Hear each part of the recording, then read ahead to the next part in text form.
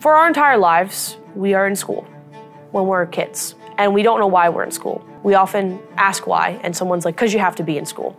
My experience at Washington Township showed me why.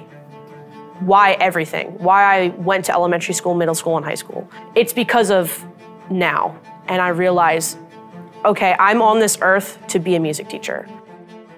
I've always been in music my entire life. I'm actually one of the only family members who really commits to music. And then once I really got to high school, I understood the band world and marching band, jazz band. And I fell in love with teaching because of my high school band director, Mike Lynch at Cherokee. And he really inspired me to want to pursue a passion in music and make it my career. As music teachers, we get to teach them in a completely different way that a lot of the times these students don't necessarily get in other classes. In academic classes, it's mandatory. In music, there's a lot more open area where students can express themselves.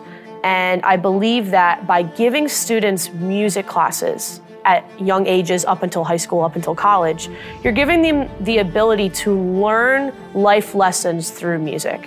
And I believe that students are more well rounded when they are in an environment where they can express themselves freely. The experience of working and learning at Rowan was amazing. I think the environment is great for music education majors. It's not too big where you're a number and you don't matter and you don't get that one-on-one professor experience, but it's also not too small where you're basically in high school again and you're one of 15. I've found my purpose for the rest of my life here by teaching students and getting the experience of student teaching because I realized I really want to do this for the rest of my life. And I love, love, love, love teaching kids.